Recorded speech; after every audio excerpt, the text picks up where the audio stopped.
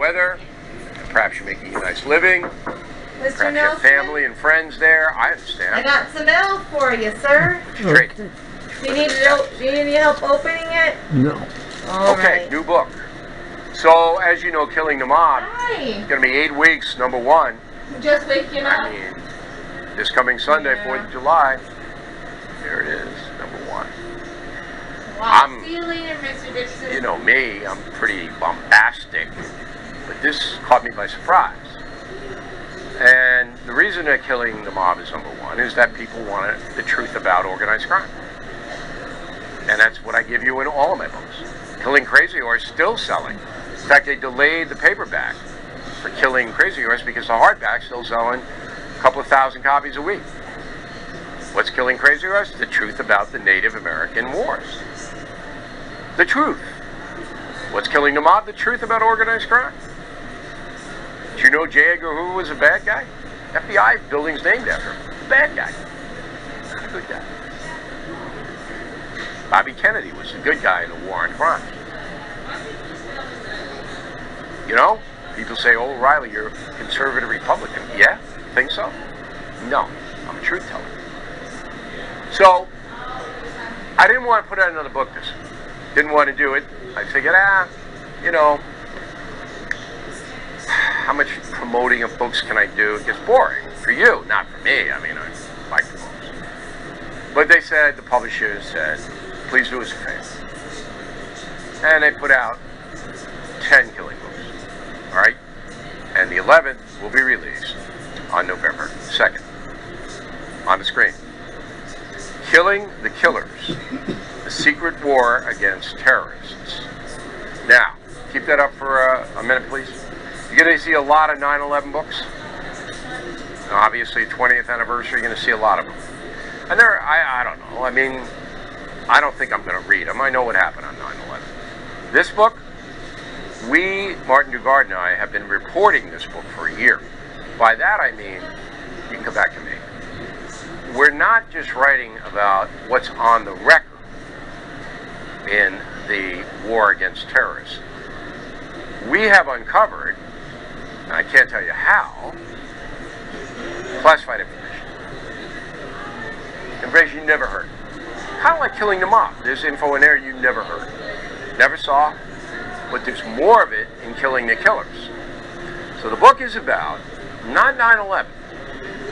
What happened after 9/11, and how the U.S. government under Bush, Obama, and Trump, a little bit of Biden, but primarily Bush, Obama, and Trump, how they differed, and how they went after the guys, the top guys in Al Qaeda, ISIS, a lot of ISIS, Boko Haram, all of the savages who are committing mass murder all over the world to this day.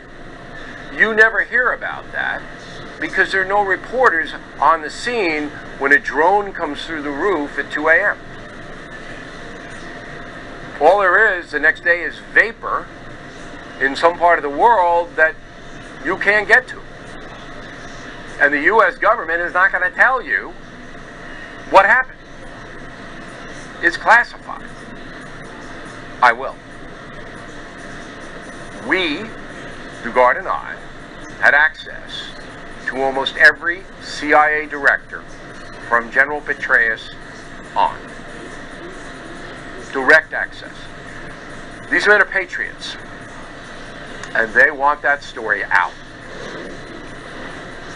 And because of my credibility, okay, more nonfiction books sold than any other human being ever in the world.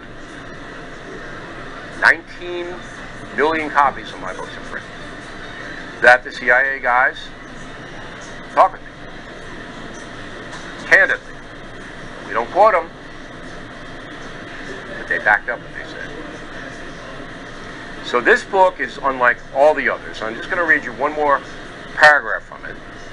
Killing the Killers reports on America's intense global war and manhunt against terrorist extremists that not only carried out the attacks on 9-11, but also executed hundreds of others both on American soil and globally. The authors trace America's efforts to defeat al-Qaeda and ISIS worldwide. In addition, O'Reilly and Dugard have gained access to top secret national security documents. It's true. As well as interviewed the highest national security officials in the USA. Killing the Killers is a book that should be read thoroughly. Okay. So this book is going to come out again on November 2nd. Tremendous Christmas gift. Killing the Mob, we hope, will stay on the list. You may remember that at one time I had the number one and number two book on the New York Times list. It was Killing Lincoln and Killing Kennedy. Kennedy was number one when this came out, Lincoln number two. I don't know if that's going to happen this time again, but I wanted to bring Killing the Killers to your attention. And if you want more information about it, just go to BillO'Reilly.com. We got a little link to their homepage on the publisher, St. Martin's Press, and all that. This day in history, June 29, 2007, Apple iPhone goes on sale. You know, it was just 14 years ago. 14 years ago, Steve Jobs, all right, announces we got this phone, and we're going to combine the telecommunications where you can call up somebody, you can text, and you can go to Facebook and all these other places. So in the first year, the iPhone sold 2 million, 2 million phones, 2007. 10 years later, 17, 216 million. Amazing. More amazing than my books.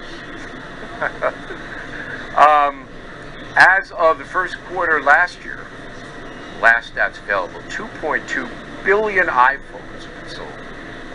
Apple has made 142 billion dollars. Boy. So that all happened 14 years ago today.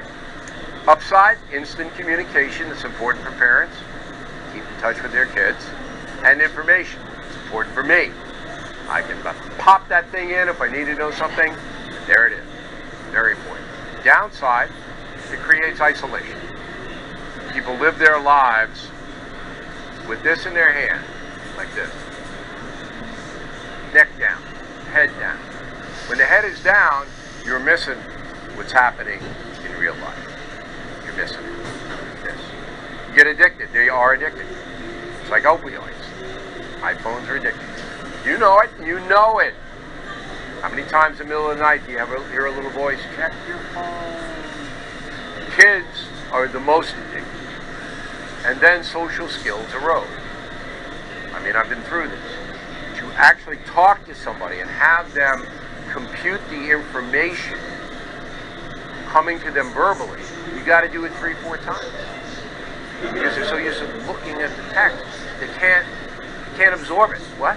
What? What? You wanted a meatball hero and what? What? Yeah. Downside. I'm going to get into that a little bit more tomorrow on uh, how the iPhone is eroded personal skills. All right, good mail.